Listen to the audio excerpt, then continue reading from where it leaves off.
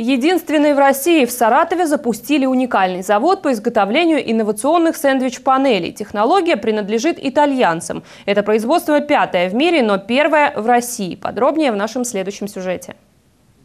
Начать производство износа стойких сэндвич-утеплителей в нашем регионе решили еще год назад.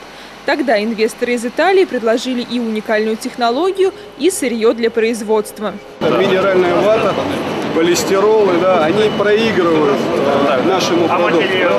Он легкий, мало того, в ряде обкладок он будет проходить по Г1, его можно будет использовать в очень-очень э, широком спектре. Да, мы надеемся, конечно, это мягкие кровли, большие мягкие кровли. Также мы надеемся попасть не только в штукатуренные фасады, но и вентилируемые фасады. У нас есть, да, у нас есть наработки.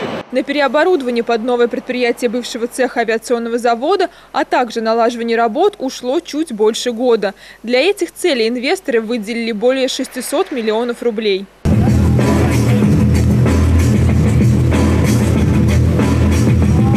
Объемы нового производства уже в ближайшее время составят более 10 миллионов квадратных метров сэндвич-панелей в год, а количество инвестиций от налоговых платежей в бюджет региона превысит 80 миллионов рублей.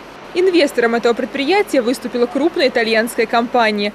Изначально планировалось изготавливать продукцию с применением зарубежных материалов. Но в связи с нестабильной политической ситуацией в мире инвесторы завода начали разработку новой стратегии импортозамещения. Задача стоит у инвестора со следующего года приступить к разработке, чтобы максимально все компоненты были произведены на территории Российской Федерации.